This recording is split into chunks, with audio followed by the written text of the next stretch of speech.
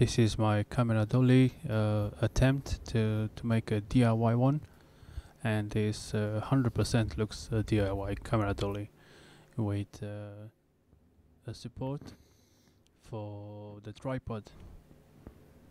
I'm using two pieces of uh, plywood uh, shelving ones. Uh, I had some uh, water bottles uh, for the counterweight uh, to stop it uh, tumble over. Yeah with the bottles on it is moving uh, much uh, easier on the floor. Without the bottles without the counterweight uh, is going all over the place. It's very unstable. Need a bigger weight. And something like this will have to stay near to my table avoid uh, touching the table and uh, free a lot of space from the table.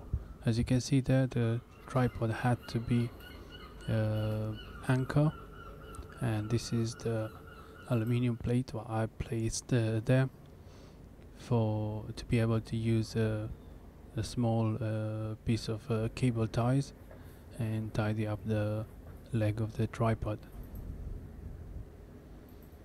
yeah as you can see eh, the tripod uh, is quite stable in there. And the other two uh, legs of the tripod uh, stay against the, um, uh, the board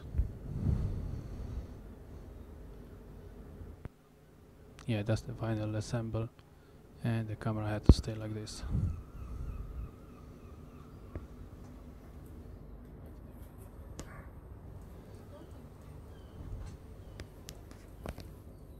all good uh, zoom and everything works perfect.